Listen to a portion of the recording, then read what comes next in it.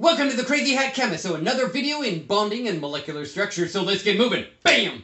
Today we're talking about valence bond theory, a little bit more detail than what we have talked about before. So valence bond theory, we're going to be using what's called VSEPR, which is the valence shell electron pair repulsion.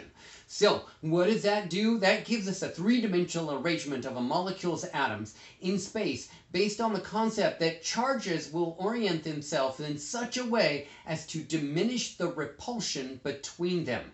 That is, electrons are negatively charged and they don't like to be near each other. So they are going to physically move away from each other as far away as possible three-dimensionally. That will give us a shape. Okay, VSEPR leads to a molecular geometry of either a molecule or an ion. And we're going to use an axe to determine the shape of the molecule based on this set of rules. So number one, you're going to first draw the Lewis dot structure. Any resonance structure will do. If you don't know what a resonance structure is, stay tuned. We're going to be talking about that later on another day. Okay, number two, you're going to count up the electron pairs the domains around the central element, that is, the bonding and the lone pairs. Those are domains around the central element. Okay, multiple bonds, that's number three, count as one particular region. So it doesn't matter if it's a double bond or a triple bond, that's still a domain, a single domain around the central atom.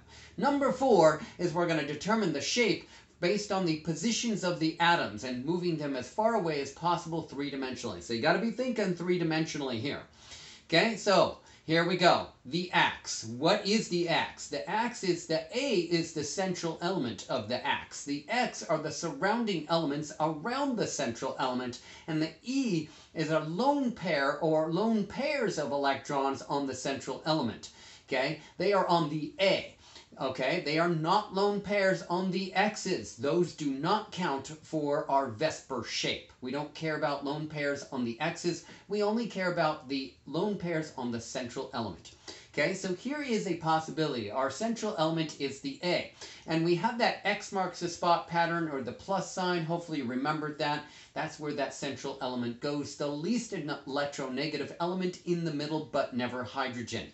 And now we place elements around this that is a particular shape. Now, every now and then, what we can do is we can replace one of these x's, which is an element, with the lone pair of electrons. We can do that yet again, and we get that shape. Okay, and this will be based on the 3D arrangement of this We'll have a name of this shape.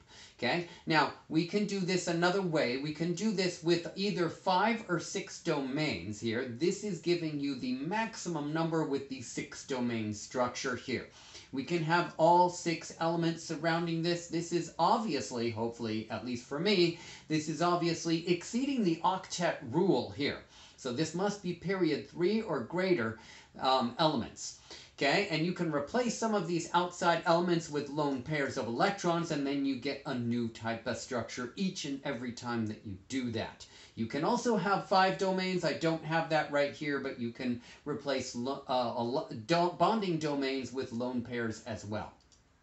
Okay, you're going to first determine your x. There's only one A, and there could be multiple x's, and there might be multiple e's. There might not be any e's on the central element.